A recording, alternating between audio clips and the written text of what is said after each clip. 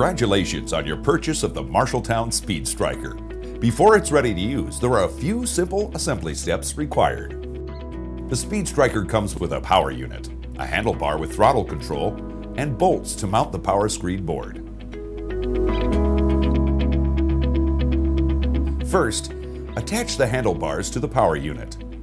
Remove the four hex bolts from the handlebar mounting blocks. Remove the top half of each block. Reposition the lower blocks to align with the mounting holes if necessary. Place the handlebars on the mounting blocks, making sure the handlebar is centered from side to side. Put the mounting blocks and bolts back in place. Rotate the handlebar to the upright position and tighten the bolts.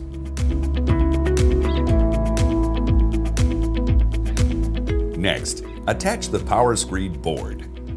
Remove the bolts and spacers from the power unit. Place the first spacer in between the power screed board and the power unit. Then, position the power screed board on top, aligning the mounting holes. Place the other spacer on top and drop a washer and bolt through each hole. Add the washers and nuts on the backside, and then tighten the nuts firmly in place.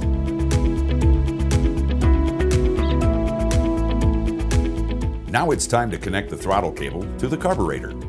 First, remove the carburetor cover. Then, place the throttle cable end, the one with the barrel, into the silver peg with the slot. Pull the cable until the end of the barrel slides into the slot.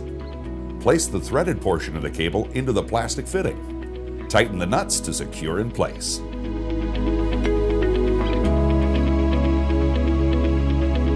The next step is to attach the cable to the throttle lever. Loosen the throttle lever and rotate it 180 degrees. Then tighten the screw and secure it in place. Loosen the set screw to allow the throttle cable to feed through the lever.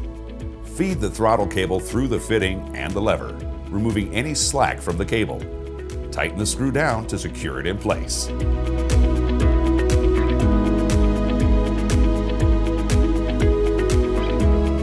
Secure the throttle cable to the handlebars with two plastic clips, positioning them so the throttle cable is fully contained.